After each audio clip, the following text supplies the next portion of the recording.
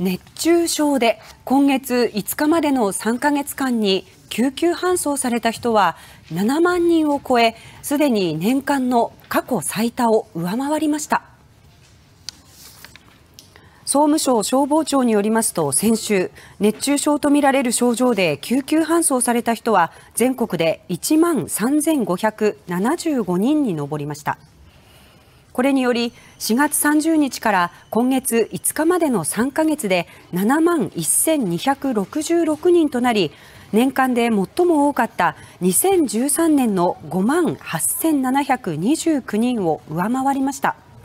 救急搬送された人のうち半数近くが65歳以上の高齢者で全体の4割近くが室内で発症しています。